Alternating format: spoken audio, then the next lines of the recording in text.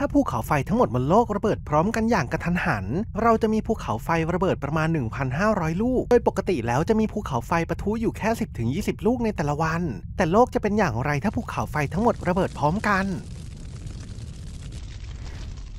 นักธรณีวิทยาคิดว่ามันคงไม่น่าดู แม้จะเป็นแค่การระเบิดของภูเขาไฟบนบก แต่ก็อาจทำให้เกิดปฏิกิริยาลูกโซ่ที่เลวร้ายกว่าที่เราเคยเจอมาก่อน ปัญหาใหญ่ 2 อย่างคือขี้เท่าและก๊าซภูเขาไฟ แม้การระเบิดและลาวาจะสร้างความเสียหายให้กับผู้คนที่อยู่ใกล้เคียง แต่อันตรายที่แท้จริงอยู่ในสิ่งที่จะเกิดขึ้นต่อไป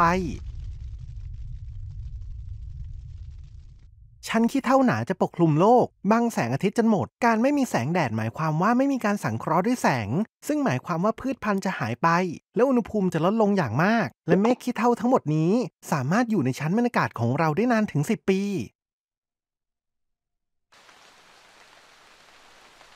นอกจากขี้เท่าแล้ว ยังมีฝนกรดที่ต้องกังวลด้วยก๊าซภูเขาไฟเช่นกรดไฮโดรคลอริกและซัลเฟอร์ไดออกไซด์จะผสมกับบรรยากาศ และตกลงมาเป็นฝนกรดสภาพอากาศแบบนี้อาจเป็นอันตรายต่อน้ำใต้ดินและพื้นผิวมหาสมุทรแม้มนุษย์จะเอาชีวิตรอดมาได้จนถึงจุดนี้ เราก็จะไม่มีปะการังและสัตว์ทะเลอื่นแล้ว นักวิทยาศาสตร์ได้เห็นเหตุการณ์ที่คล้ายกันนี้ในประวัติศาสตร์โลก แต่ในระดับที่เล็กกว่า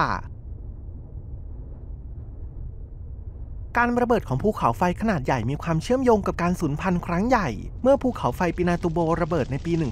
1991ทำให้บางส่วนของโลกเย็นลงนาน 2 ปี แต่ก๊าซคาร์บอนไดออกไซด์ที่เพิ่มขึ้นจากการระเบิดเหล่านี้อาจทำให้โลกร้อนขึ้นได้ เหมือนที่เราเปลี่ยนเตาให้ร้อนเป็นพิเศษเพื่อให้ casserole ของเรามีชั้นที่กรอบเป็นพิเศษ นักธรณีวิทยายังกล่าวว่ามีหลักฐานในชั้นบรรยากาศ ว่าเหตุการณ์เช่นนี้อาจเคยเกิดขึ้นในอดีตอันไกลโพ้น ในช่วงยุคครีเทเชียส ระดับคาร์บอนไดออกไซด์สูงกว่าปัจจุบันมาก ซึ่งทำให้สิ่งมีชีวิตในทะเลเจริญเติบโตได้ยาก แล้วใครที่รอดมาได้ อาจเป็นสิ่งมีชีวิตสุดขั้วบางชนิด สิ่งมีชีวิตที่เติบโตได้ในสภาวะที่ไม่เอื้ออำนวย เช่นน้ำพุร้อน หรือช่องระบายอากาศใต้ทะเลลึกสำหรับมนุษย์ เราสามารถนอนอยู่ในบังเกอร์ใต้ดินได้ จนกว่าสิ่งต่างๆ จะดีขึ้น หรือสร้างสถานีอวกาศหลายแห่งสำหรับพวกเราทุกคนโอกาสที่ภูเขาไฟทุกลูกจะระเบิดพร้อมกันนั้นมีน้อยมาก นั่นเป็นเพราะไม่มีแหล่งพลังงานขนาดใหญ่เพียงแหล่งเดียวสำหรับภูเขาไฟทุกลูก ช่องเปิดแต่ละช่องจะมีแมกมาสะสมของตัวเอง ยกเว้นบางกรณีที่ช่องเปิดเหล่านี้ใช้แหล่งของแมกมาร่วมกัน ตัวอย่างเช่นในปี 1912 ภูเขาไฟโนวาลรุปต้าใน阿拉สการะเบิดข้างๆภูเขาไฟอีกลูกหนึ่ง โดยมีแมกมาอยู่ร่วมกัน นักวิทยาศาสตร์ยังพบหลักฐานว่ามีแมกมาซ่อนตัวอยู่ใต้ภูเขาไฟ เช่นใต้เขตภูเขาไฟเทาโปในนิวซีแลนด์ แมกมานี้กระจายตัวออกไปได้เป็นระยะทางไกล แต่ก็เป็นแค่ลักษณะเฉพาะพื้นที่เท่านั้น แม้เราจะถือว่าแมกมาทั้งหมดภายใต้เทาโปเป็นระบบเดียว มันก็ไม่ได้เชื่อมต่อกับพื้นที่ภูเขาไฟอื่นๆ เช่นอินโดนีเซียหรือฟิลิปปินส์ภูเขาไฟส่วนใหญ่ตั้งอยู่โดด มันจึงไม่สามารถระเบิดพร้อมกันได้ แมกมาเกิดจากกระบวนการต่างๆ เช่นการบีบอัดเนื้อโลก หรือการมีน้ำเข้าไปในเนื้อโลกโดยการมุดตัว ไม่มีทางที่จะทำให้ภูเขาไฟเหล่านี้ระเบิดพร้อมกันได้ เนื่องจากกระบวนการทำงานของเปลือกโลก แต่นั่นไม่ได้หมายความว่าเราจะไม่ได้เห็นการระเบิดของภูเขาไฟที่น่าสนใจในอนาคต ลองดูพื้นที่ใต้น้ำใกล้บริทิสโคลัมเบีย ซึ่งเร็วๆนี้มีรายงานการเกิดแผ่นดินไหวขนาดเล็กประมาณ 200 ครั้งต่อชั่วโมง ลึกลงไปใต้พื้นมหาสมุทรแปซิฟิก นอกชายฝั่งเกาะแวนคูเวอร์แมกมากำลังจะปะทุทำให้น้ำร้อนมากจนมีฟองเหมือนโซดา อย่างไรก็ตาม เหตุการณ์นี้มีแนวโน้มที่จะไม่มีใครสังเกตเห็นได้ นอกจากนักวิทยาศาสตร์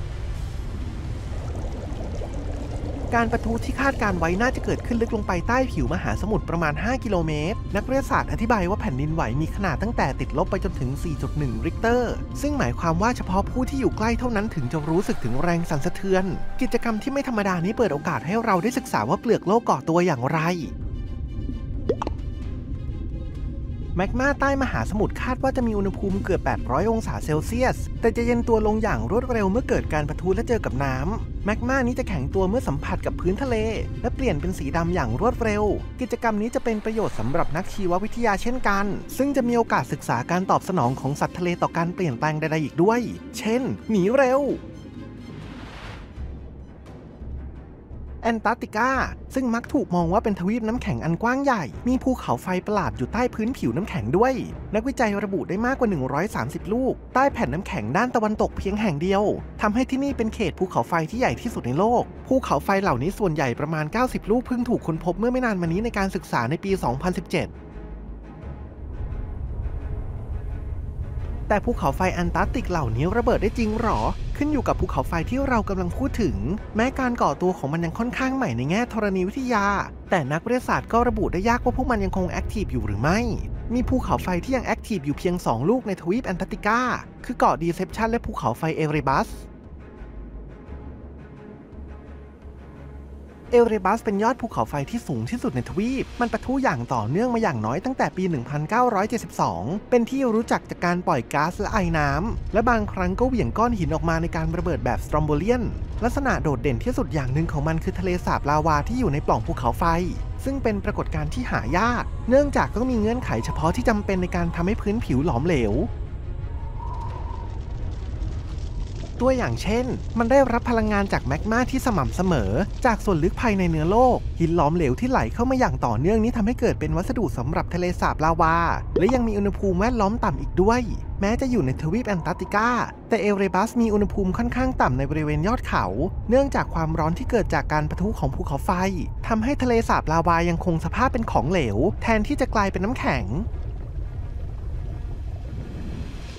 เกาะดีเซปชันซึ่งเป็นภูเขาไฟที่ยัง active อยู่อีกลูกหนึ่งมันระเบิดครั้งล่าสุดในช่วงปี 70 แม้ขณะนี้จะไม่มีสัญญาณของการระเบิด แต่ก็มีการเฝ้าติดตามกิจกรรมที่เกี่ยวข้องอย่างใกล้ชิด นอกเหนือจากที่ทั้งสองลูกนี้ได้รับการยืนยันว่ายัง active อยู่แอนตาร์กติกายังเต็มไปด้วยพุก๊าซซึ่งเป็นช่องเปิดในเปลือกโลกที่ปล่อยก๊าซและไอระเหย บางครั้งพุก๊าซเหล่านี้สามารถสร้างหอคอยน้ำแข็งได้สูงถึง 3 เมตร